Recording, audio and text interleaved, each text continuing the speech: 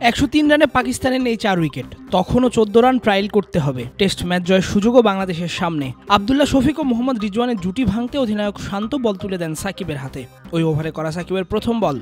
Sweep করতে গিয়ে পড়ে যান রিজওয়ান। লিটন সাকিবের জোরালো আবেদন লেগ বিফোরের। অধিনায়ক শান্ত রিভিউ নিতে চান, কিন্তু সময় শেষ হয়ে যাওয়ায় আর রিভিউও কাজে আসেনি।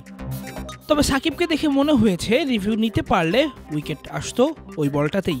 ওভারের পরের বলটা করতে গিয়েই ঘটে সেই ঘটনা। দুই নম্বর বলটা করতে যখন প্রস্তুত সাকিব, তখনও রিজওয়ান এবং লিটন কেউই প্রস্তুত হননি। উল্টো রিজওয়ান এবং লিটন কিছু একটা নিয়ে আলোচনা করছিলেন বা গল্প করছিলেন। রান আপ নিতে এসে বল করতে গিয়ে দুজনকে অপ্রস্তুত অবস্থায় দেখে ধৈর্য হারিয়ে ফেলেন সাকিব। বল করতে চেয়ে থেমে গিয়ে উল্টো বলটা ছুঁড়ে মারেন লিটনের দিকে। অল্পের জন্য বেঁচে যান রিজওয়ান, না হলে তার শরীরে এসে লাগতো বলটা। অবাক হয়ে যান রিজওয়ান এবং আম্পায়ার সহ লিটনও। আম্পায়ার এরকম করার কারণ জানতে চাইলে সাকিব উল্টো প্রশ্ন করেন, রিজওয়ান কেন প্রস্তুত হতে দীর্ঘ সময় নিচ্ছে?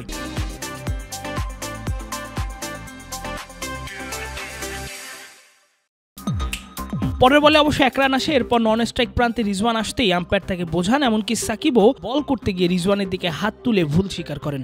ঘটনাবহুল এই ওভারেই উইকেটেরও দেখা পান আল হাসান। ওভারের শেষ বলটায় সাঁত্রিশ করা আবদুল্লাহ সাকিবের ঝুলানো বল পেয়েই ডাউন দ্য উইকেটে এসে বড় শট খেলতে চেয়েছিলেন। কিন্তু ব্যাটে বলে না হয় উল্টো ওঠে ক্যাচ গালি থেকে দৌড়ে এসে পয়েন্টে সহজ ক্যাচটা নেন সাদমান।